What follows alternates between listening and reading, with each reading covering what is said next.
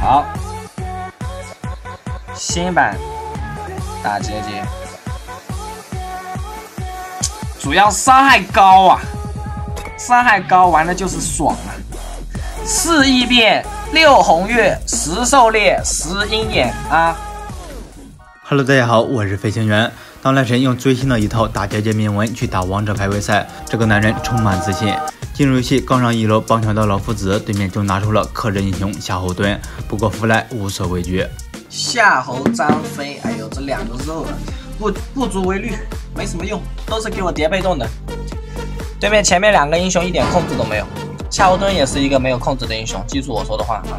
夏侯惇三千二的血，对不起，你已经死了。人到力大，躲一个。弗莱弗莱，我操弗莱，牛逼呀！我操弗莱，我靠，你是那个？为什么我伤害这么高？因为我带了这个铭文啊，看见没有？我这伤害。低调一点，低调一点，兄弟，低调一点啊！这里还有其他的召唤师，他不好吧？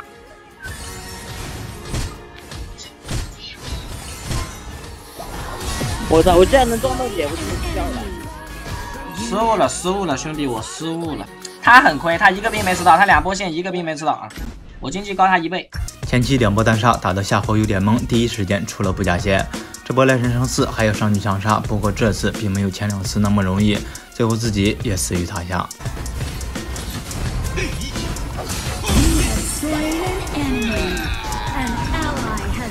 没有操作细，这波没有操作好。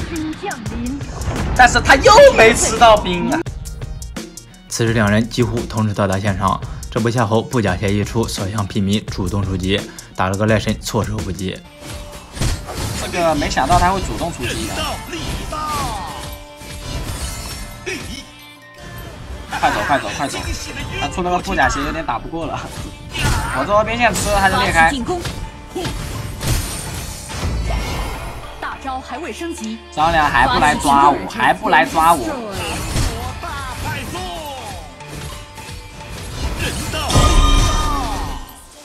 他的被动在手上，别急，他的被动，他的被动啊！一般老夫子可能就走了，别急，他大招 CD 还没好，别急。我操，我操，我操，我操！糖果大派送。赖神此时有点怀疑人生，实在是没想到前期这么劣势的夏侯惇就出了个布甲鞋，居然这么猛！我靠，他怎么那么猛啊，兄弟们！我前期这么大的优势，怎么有点打不过？戴神再次回到线上，逐渐被夏侯压制。现在他只有一个想法，就是等末世成型。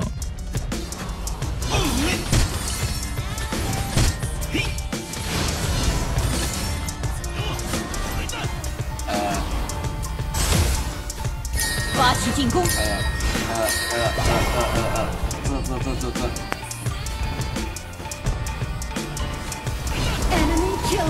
哎呀！我靠！什么东西啊？被克制了，英雄克制啊！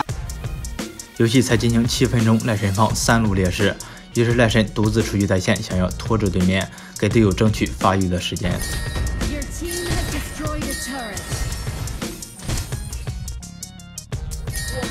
我操！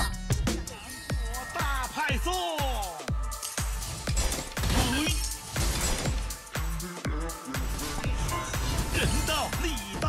哎！别逃！别逃！别逃！别逃！别逃！投降了怎么？我们能翻盘肯定可以翻盘！我打这个段位没输过，我去吸引一波注意力。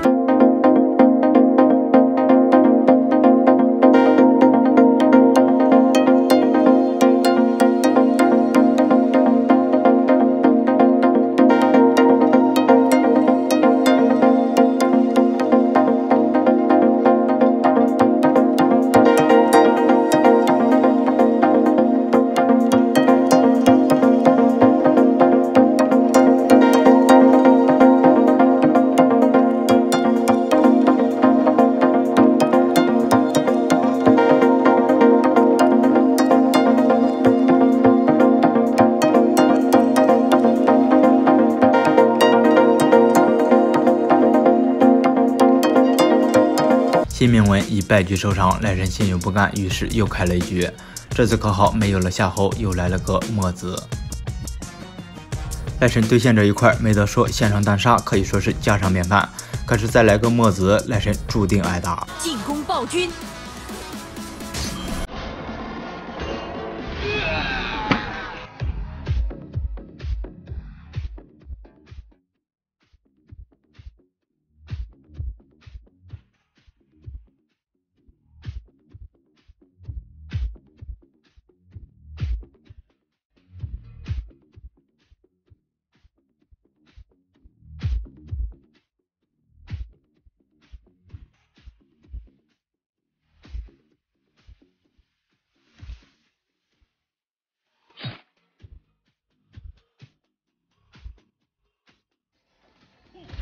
找死啊！没有队友，这波你怎么活啊？我这种铭文捆到必杀，卡推了，击飞三个，你光伏障碍也没用，有挠，夹，直接上高地，回防高地，那是对他们。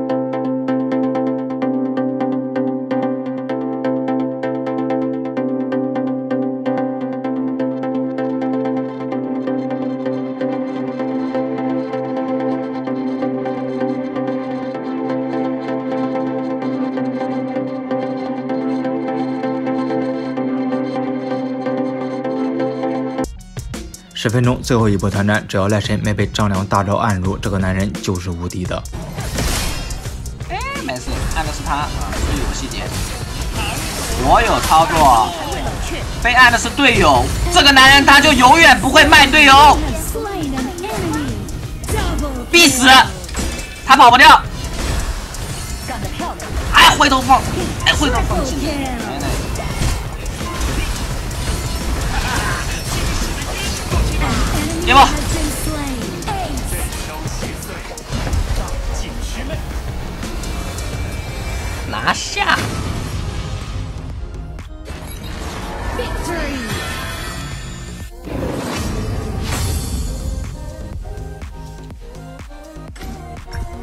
！MVP，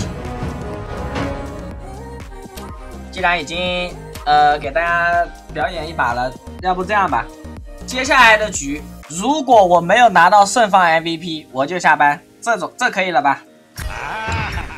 如果我没有拿到胜方 MVP，我就下班啊。